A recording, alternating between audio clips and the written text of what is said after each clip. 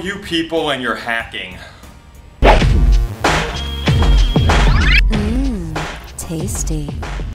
What's up, Stew Crew? John Basedow here with another story from our friends over at TMZ. And as usual, you can find all of the details down in the article links in the description below.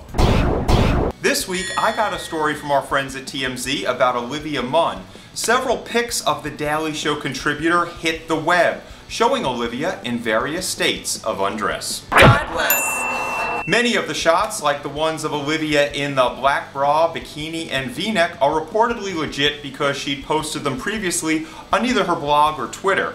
The nude shot, however, is bogus with a capital B. What the hell is the matter with you people? I always say you know it's fake when you can't see the face. TMZ sources say that someone with a similar body to Olivia is taking provocative pics and trying to pass them off as the real thing.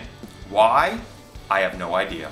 Congratulations, you're Freak of the Week! And Stew Crew, for your common question, help me out here because I really don't know the answer to this one. Why do you think someone would randomly post fake nude pics of a celebrity? What's in it for them?